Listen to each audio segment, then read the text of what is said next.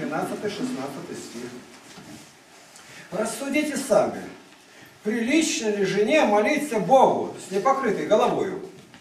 Не сама ли природа учит нас, что если муж растит волосы, то это бесчестье для него? Но если жена растит волосы, для нее это честь, так как волосы даны ей вместо покрывала. А если бы кто захотел спорить, то мы не имеем такого обычая, ни церкви Божией.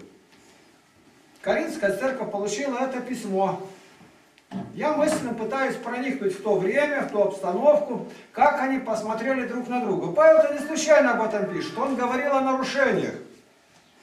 Самое главное у них нарушение, что они стали надмевать высоко думать о себе, высокоумие.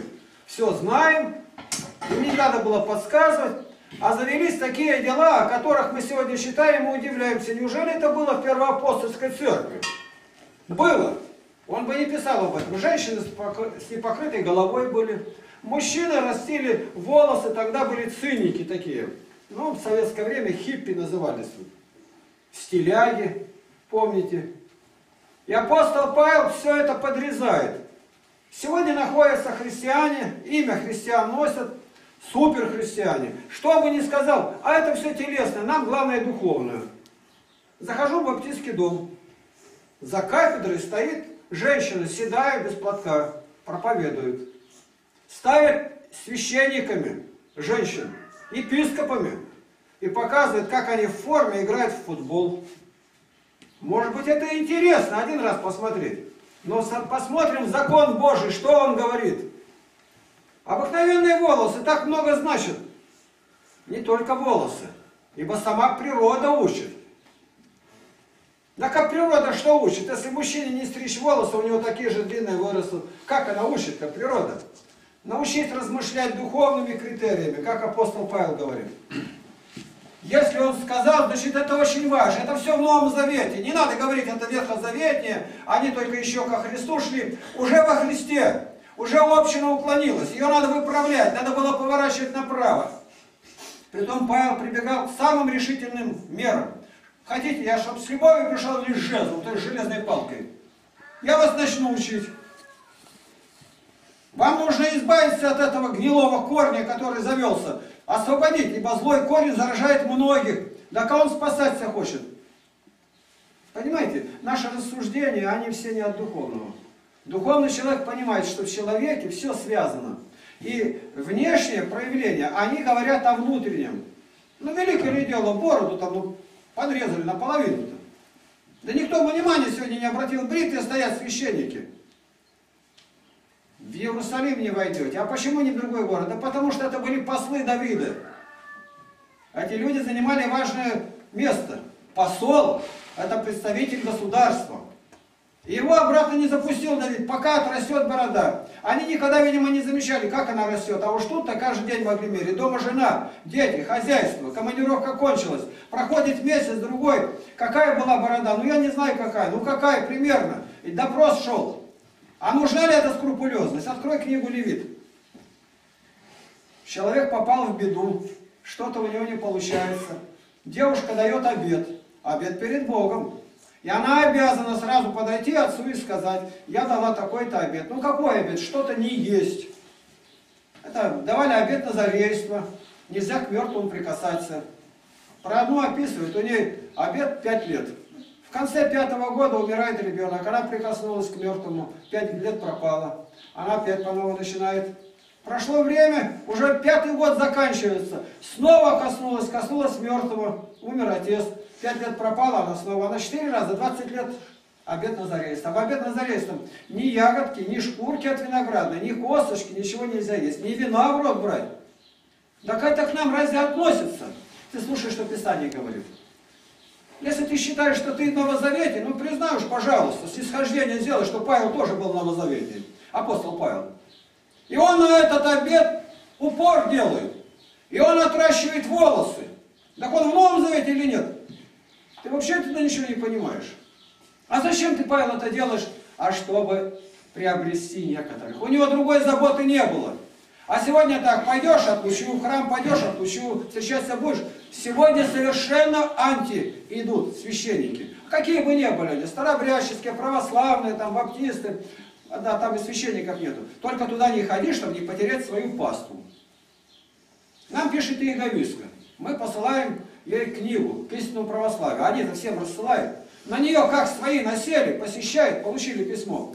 Любыми путями сожги эту книгу. Она говорит, я не могу никак ее сохранить, мне жалко труд людей. Ну ладно, ноги больные, вот маленько выздороветь, на дачу поеду, я там сожгу. Куда ее выслать, они не, не знают. Каждый бьется за свою пасту, а куда ведет, он не видит, он не знает. Вот и покажи, что против или как. Человек этого не понимает. Апостол Павел напоминает нам, рассудите сами. Значит, рассудительности нет никакой. И вот спорит на каждом шагу. Апостол Павел говорит так. Если бы кто захотел спорить, то мы не имеем такого обычая. Нам спорить не надо. Спорит тот, кто ничего не знает. Написано, фарисеи спорили с учениками Христовыми. А почему не Христовы ученики? О, это иезуитство, это иезуиты. Какие иезуиты, когда Писание это говорит? Пустые слова, они будут требовать наказания от Бога. В другом месте считаем, как Христу пришли фарисеи и спорили. А Христос не спорил, нет. Я стал смотреть эти места, никто из святых отцов не объясняет даже это. Я стал размышлять, долго размышлял. Потом думаю, ведь не спорит-то кто? Тот, кто ничего не знает. Вот спорит. А кто знает, он возвещает истину. Христос что будет спорить-то? Ученики Христова, они возвещают. Нужно вот так. Ты вещь не принимает. А написано, после первого, второго вещания отойди от него. Два. Отойди, больше не говори. Почему? Они, они заражены страстью словопрением. Они больше ничего не знают. Они нападают. Вот сейчас мои труды выставлены в интернет. Ну, нападают те, которых ничего нет. У них нет ничего. Они обречены все время бегать, как маленькие собачонки, вокруг чужой колокольни. Вот такое сравнение дает один писатель. Ты сам что-то создай. Кончил высшее учебное заведение. Ну и что? Ты чужие труды поглощал. Знания есть. Но теперь сотвори что? С высшим образованием сидит секретарь, секретарь перебирает бумажки, и на этом вся жизнь закончилась. Бог дал тебе образование это дело. Ты вмести это в себя, и теперь распространи. Вот дети, я над ними тружусь. Каждое утро с утра до вечера, они ничего не знают. Да ко всего прошло меньше недели, результаты уже явные. Вот с вашими детьми сколько занимался, где еще не сказал, все помнят. Уже издалека идут, улыбаются, уже показывают и платочки, и все остальное. Так как важно это? Важно. Это настолько важно, что без этого маловажного, важного вообще не будет. Кто не верен в малом, как Бог доверит больше? В первом послании к Коринфянам 14.33 говорит, потому что Бог не есть Бог не устройства, но мира. Так бывает во всех церквах у святых. Отсюда вывод, что мы не церковь, если по-другому делаем, и не святые. Кто бы хотел спорить, то мы не имеем такого обычая, запятая, не церкви Божией. В церкви Божией не спорят. Все нельзя объяснять. Такие мелкие детали, то мы на месте сами решим. Бог обращает внимание, дает закон на то, о чем сегодня даже говорить, сказали бы, в приличном обществе-то не стал. Пошел за стан, по-тяжелому, на двор. Возьми с собой лопатку и здоровье. Написано, все израильтяне ходили с саперными лопатками. А какая она должна, должна быть это точно, какой длины черенок, ничего в Библии этого не пишет. На месте уже смотри, как тебе удобно. Но главное, она должна быть у тебя. Главное, ты должен помнить, это делается для того, что посреди тебя ходит Господь. Мы пришли в храм, здесь Господь. Все должны быть в платках. Волосы должны быть совершенно закрыты. А то у нас принято так.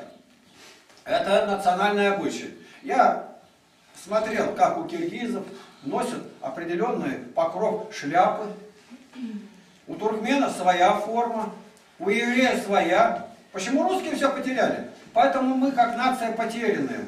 Мы должны сохранить все свое русское. Да вот вы затеяли поезд, это местные говорят, христиане. Я не затеял, я тебе говорю, 108 раз в Библии говорится о поясе. И один раз только без пояса. Когда враг пришел, а его упрекнули, ты, говорит, хвалишься, как распоясываешься, после фронта пришел. Распоясанный хулиган. Надо с трепетом относиться к каждому слову. Как коринфяне посмотрели друг на друга без платка. Может быть, старый у тебя нет там лишнего платка на надеть. Вышли на улицу, мы обратились от язычников, а что у нас такое ермо накладывает? Я представляю, как это сегодня говорят. У нас люди, которые были здесь, принимали крещение в прошлом году, они сразу полюбили нашу форму. И в Германии, сестра, и здесь. Как священники ополчились. Снять платок, отлучать, отлучать за платок. Бог не послал нас отлучать, а сказал, идите, возвестите, ищите потерянных овец.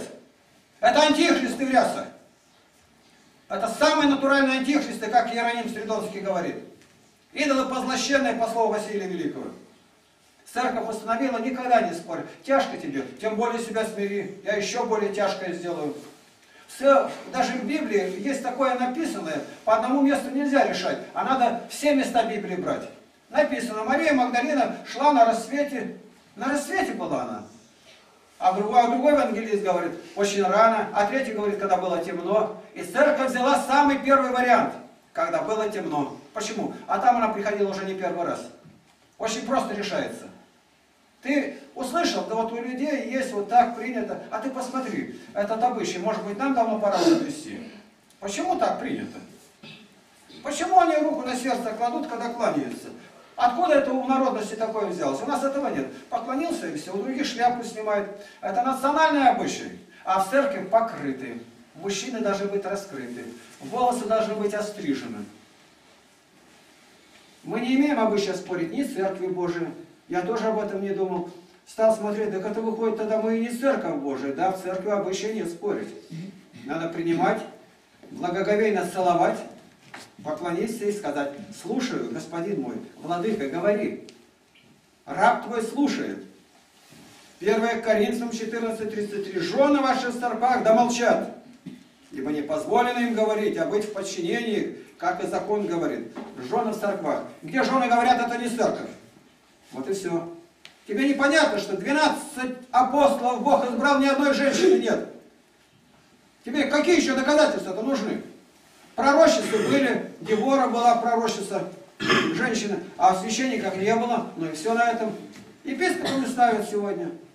Такая мерзость садомитов ставят, священниками и епископами. В конце концов дошли, плату. Антихрист это не надо, он уже давно залез.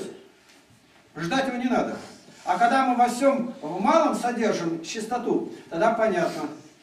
Благоговейно приготовился, ребенка проверил, он идет в храм. Храм Божий. Все время добавляйте. Не в храм идем просто, а в храм Божий. Этот храм не попам принадлежит, не монахам. И не нам, никому. Он Божий. Написано, Израиль должен предстать был трижды пред лице Господнем. На колесо Господне везде. Не надо рассуждать. Ты должен идти в Иерусалим, зайти в храм и стать перед лицо Господне. Об этом молился Соломон, закончив строительство. И кто бы ни пришел, предстал пред лицо Твое в этом месте. Мы и дома знаем перед лицом Божьим, но Библия указывает на конкретно, я должен быть в храме общей объединенной молитвой, достичь Бога. 1 Тимофея 6, 3, 4. Кто учит иному и не следует здравым словам Господа нашего Иисуса Христа и учению о благочестии, тот горд, ничего не знает, но заражен страстью к состязанию словопрением, от которых происходит зависть, распри, злоречие, лукавое подозрение. Из одного пояса сколько мы борьбы здесь провели. Ребятишки по сегодняшний день некоторые бегают, ваши деревенские. Почему? Родители. Страстью к словопрению. Что бы ни сказал, но все найдется против. Неважно о чем. По сельскому хозяйству где-то, по празднованию или где-то. Это страсть. И страсть это, конечно, не от Бога. Повторяю, апостол Павел говорит Тимофею, кто учит иному, не следует здравым словам. Учение о благочестии. Благочестие, ну представьте, расстегнут ты пришел без пояса, без платка. Ну, какое это благочестие-то? Благочестие во всем. И оно на все годно. Все остальное, миловидность, прекрасная, красивая девушка, женщина, это все обманчиво написано а благочестие навеки, навсегда. Тебе даже не нравится что-то, за, за, принято обычно, скажи, я смиряюсь перед Господом, ничего не потеряешь. Ты посеешь что доброе семя, вырастет добрая жена кому-то. Приучите благоговение перед отцом, чтобы мать никогда не прикословила отцу. Отец вышел, оборони вас Бог, обсуждать действия отца. Ни единого слова. Отец за двери, ты сразу, я папу огорчила, дети, станем на молитву, он пошел. С чем он пошел сейчас? Помолимся. В первую очередь о себе. Установите авторитет отца. А отец, конечно, авторитет матери. Но помните, он главный. Это в детях должно быть заложено. Благоговейное отношение к мальчикам. А у него трепетное отношение к ней пальцем не затрагивает, как у нас в лагере устав. Не допускайте ни в нигде, чтобы девушку хватали. Сохраните ее. Сегодня это вопрос центральный. Россия исчезает. Почти 2 миллиона каждый год умирает, исчезает, не восстанавливается. И все это начинается сегодня, здесь. У мусульман этот вопрос никогда не возникал, его и не будет. У нас в среднем 1,7 ребенок в семье. У них 7. Ну, разница. Посчитай. И что дальше будет? Через 50 лет-то. Вообще эти храмы будут отданы мусульманам, они будут жить, нас-то никого не будет уже. Деяния апостолов 21-24. Взяв их, очистись с ними и возьми на себя издержки на жертву за них, чтобы остригли себе голову. И узнают все, что слышанное имя о тебе несправедливо, но что и сам ты продолжаешь соблюдать закон. Это советуют апостолы, которые, конечно, не были выше Павла. А почему он сам не додумался? А одному не дается все. Надо быть внимательным. Мы знаем, вождем народа израильского был избран ученейший муж того времени, Моисей. Учился при фараоновом доме, воспитывался, там лучшие воспитатели были, как у царских детей. Пришел тесть, жара, народ стоит, целый день, он посмотрел, а что они целый день? Он говорит, устал так за день. А что делал? Да вот разрешал вопрос. А почему ты все сам решаешь? А кто решает? Они так нарешают, что... А ты сделай так, маленькие дела там по курицам, по всему, пусть решает один. Большая потеря лошадь, пусть 100 начальник будет, 1000 начальник. А уж на себя доводи важные государственные преступления, послы, когда придут. Но президент не решает наши эти дела там по земле и прочее. Для президента это другие более важные дела. А что Моисей сам не мог додуматься? Иоанн Златоуст объясняет, не все дано. И Бог специально так сделал, допустил, что Моисей такое простое дело и не понимал. А тесть, тесть пришел, подсказал, а мы еще лучше относимся к Моисею. Какой он был молодец. Он знал, что по грамоте тесте с ним не сравнишь. У теста это всего 7 девиз, больше ничего не было, и барашки. А у этого народ идет многомиллионный. И, видимо, сразу подумал, поблагодарил тесть. Я по-другому просто не уже сказал, благодарю тебя, отец. Как ты подсказал? И на завтра назначил, один день на это потратил, и все. Он освободился. А что мы из этого имеем? А то, что сегодня в храмах делается. Вот мы ездим, если Бог даст, уже заранее молитесь, чтобы благовестие наше получилось. Куда бы ни приехал, со священником встретились, вы извините, я тороплюсь. Притом все одинаково торопятся. Дела заброшены, над людьми не работают. И все они торопятся и торопятся. Куда торопишься-то? Куда? По всяким мелочам. Пришли, а у меня венчание сегодня. Никого нигде нет, стояли, нету, никого нет. Какие-то акафисты заказывают. Ну дай ему бабка, она просчитает акафист. А ты на более важные дела. Мы приехали такую даль. Слово Божие привезли. Ему это не надо. Так далеки мы от того Моисея, который умел прислушиваться. Притом это не в одном месте, а абсолютно везде одинаково. Везде. Выход где? Спорить не надо. Принять, приложить своему сердцу и распространять. Апостол Павел прислушался к апостолам другим. Да там даже не апостолы, братья были. И сказали, вот пришли из Асии люди, они дали обед, волосы во время Назарейства не стригли. А когда уже Назарейство кончалось, надо было жертву принести. А это деньги стоило жертву не маленькую. В три года один раз Селкана приходил, приводил трех тельцов. Это три быка гнать впереди себя. И оставить их в храме, домой пешком пойдешь. Три тельца. И все прибытки какие были. Павел прислушался. А сколько человек? Настолько. Где это сделать в храме? Павел знал, как его ненавидеть. Они подставили его. Его там схватили и едва не убили. Но у Бога это было вымерено. Апостол Павел никак не мог увидеть Нерона. Он не мог послать послание и сказать, Нерон, прими меня, я тебе расскажу о Христе. Никак. А вот теперь, когда его этапируют туда, а на это уйдет четыре с половиной года, и он предстанет перед императором. Да четыре-то с половиной года, как вспомнишь, Господи, прости нас греши, что мы наделали? Да четыре с половиной года Павел-то обошел бы весь Ближний Восток. Все это правильно. Но Павел-то во время там нахождения, -то, сколько посланий написал-то? Послание к Филиппийцам, он все это из тюрьмы писал. А сколько людей к нему приходило? Ты до конца все раскрути и увидишь, у Бога все это вымерено. Все наши платочки у Бога подсчитаны. Как мы, с каким благоговением, с каким страхом. Если ты приходишь перед начальником армии, такой, небольшой начальник, лейтенант, расстегнутый, тебе что будет? Ты на кухне сгниешь, там будешь сидеть, а то и больше получишь. Почему ты считаешь, что перед Богом ничего? А Бог что? Начальник. Так и написано. Начальник – совершитель веры. А Бог что Он? Да не надо тебе рассуждать. Застегни пуговку. Из одной пуговки. Я был свидетель, как у нас один стал противоречить. А я не застегну. Пошли, еще одна пуговка, значит. Доложили выше, вызвали. Застегни. А кто ты такой? Два наряда. А я не пойду на гауптвахту. А я и там не подчинюсь. Военный трибунал. Все. Это при мне было, я и фамилию его помню. Теперь он назад бы все развернул, а эти пуговки языком бы все вылезал. А уже никто не понимает. А там в мороз выгоняют босиком и бьют прикладами. У него пальцы все отмерзло. Что там делают? Не надо рассказывать. Так если у людей так, неужели Бог нашу гордыню не сломит? Тебе сказали правила какие. Стоять спокойно. Стой. Молись. И скажи, Господи, Ты привел меня в то место, где учат, как славить Бога. Вот представьте, что человек волосы снимает, а вот на висках оставляет песен у евреев. Я первый раз в бане увидел такого старика, я вокруг его обошел, думаю, а что это такое? Никогда такого не видал, но я ничего не знал. Первый раз в город приехал. И это считается необходимым. Прямое указание. Не стриги виски на висках твоих. Зачем Бог указал? Ты можешь только догадываться.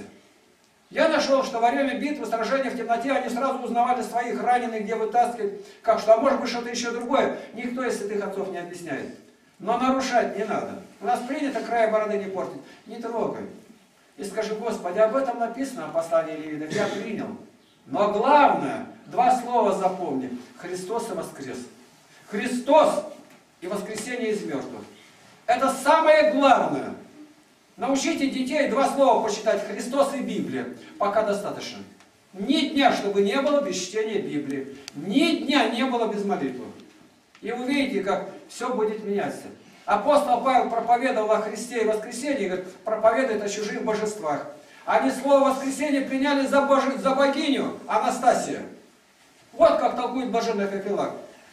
И нас должны понимать, мы чада церкви, чадо послушное. Вот у нас нет семи поклонного начала, как у старообрядцев. Я бы хотел, ну, не принято что-то, или чем это связано. Как хорошо, одинаково все поклонились.